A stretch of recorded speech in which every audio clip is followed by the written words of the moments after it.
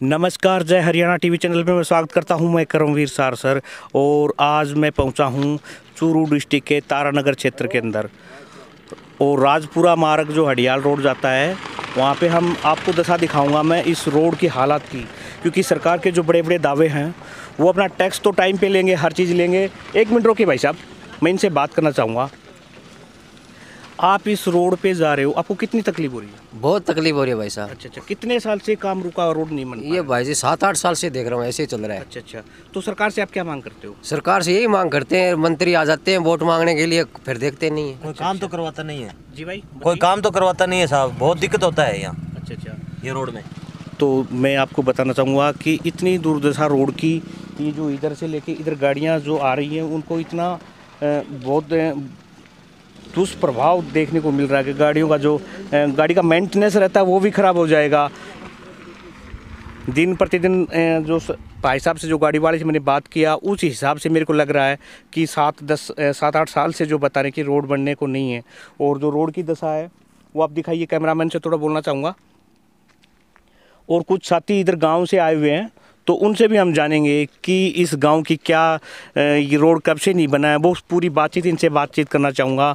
कोई एक साथी मेरे से जो बात करना चाहे वो भाई मेरे साथ आए एक बार। राम राम जी। सर आपका नाम क्या है? बजरंग लाल है जी। बजरंग लाल जी मैं आपसे जानना चाह रहा हूँ ये जो रोड की दशा है ये कब से बुरी दशा हो रही है? ये कई सालों से है जी। कई- कई सालों से। हाँ। तो शासन प्रशासन इसकी तरफ़ ध्यान नहीं देता क्या? कभी आते हैं बात करते हैं झूठा आश्वासन मिलता है और उसके बाद में वही हाल है। तो अभी वर्तमान के यहाँ के विधायक कौन है?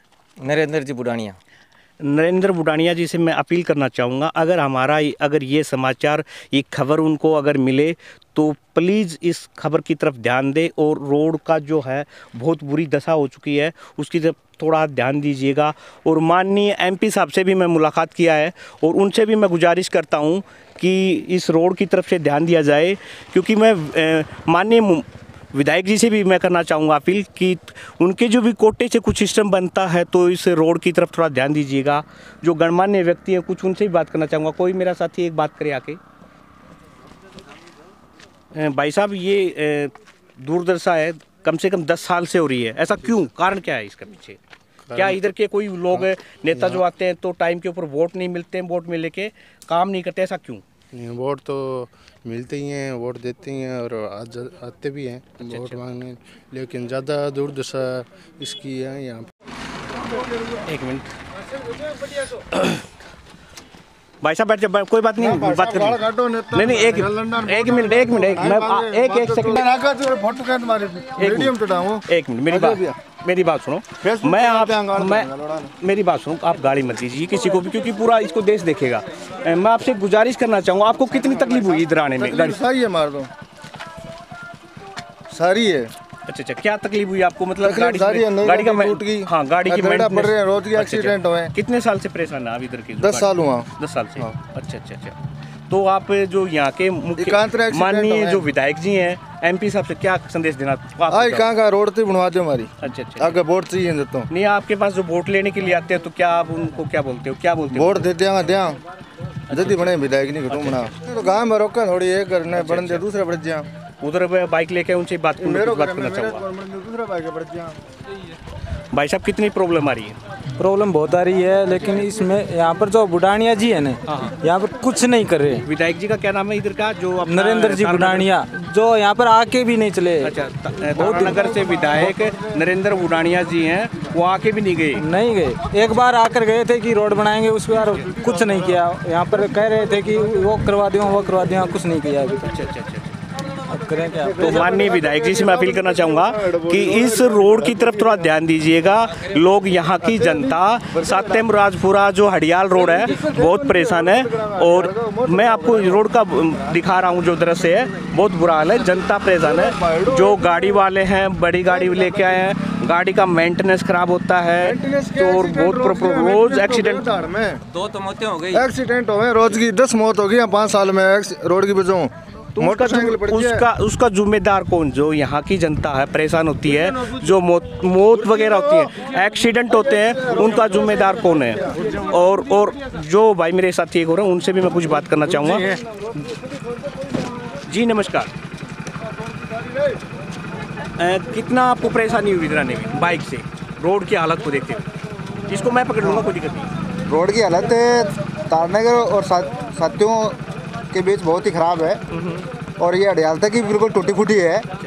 और यदि इसमें सुधार हो जाए तो आमजन की समस्या का समाधान हो सकता है। तो यहाँ के जो माननीय विधायक जी हैं उनसे क्या कहना चाहो क्या अपील करोगे? अपील से अगर जितना हो सके इसको जल्दी से जल्दी इनका पूरा पूरा कराने की कोशिश करें।